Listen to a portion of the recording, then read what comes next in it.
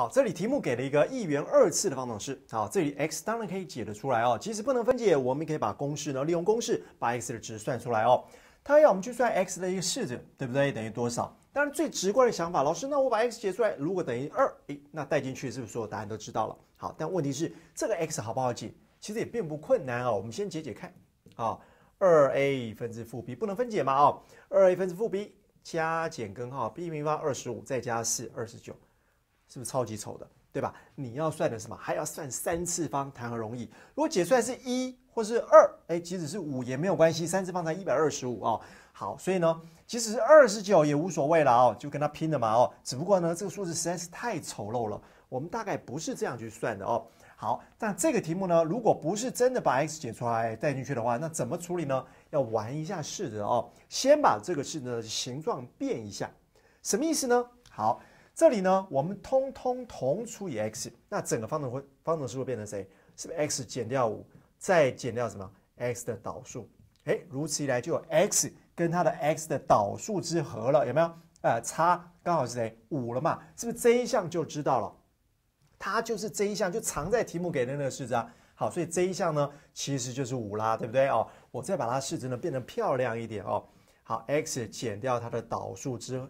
啊，这个结果呢就刚好是五，对不对啊？第一步我们会得到这样的关系是，这个式子呢就是五了。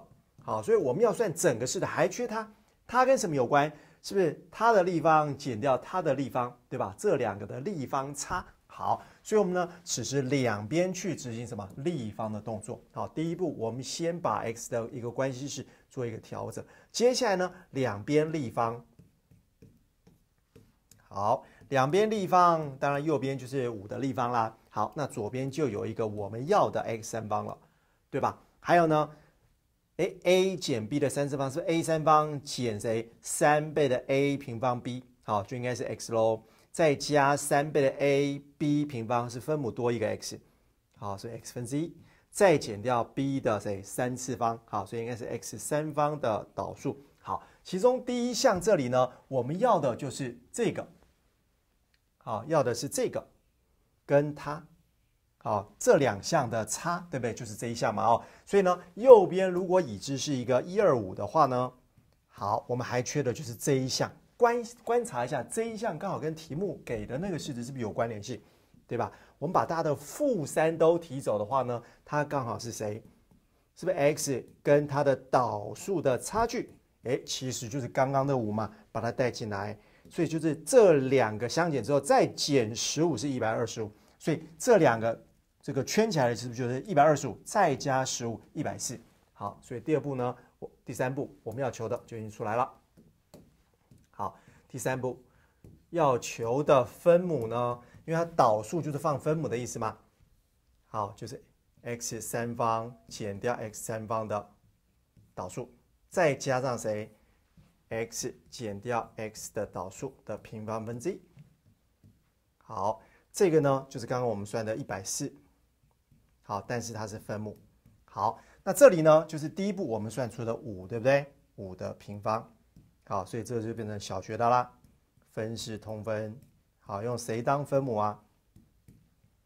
好，一百四分解一下它里面的成分哦，七、二、十四，对不对？还有一个谁？十十是一个二跟一个五的乘积，所以我们要由一个七、两个二跟两个五当分母，对不对？好，所以这里要配一个五给它。这里呢，除了配一个七，还要配两个二给它。好，所以答案呢就是这个式子展开啦。好，两个二、两个五乘加两个十，就分母就是七百啦。好，十七二十八加五三十三。好，标准答案七百分之三十三。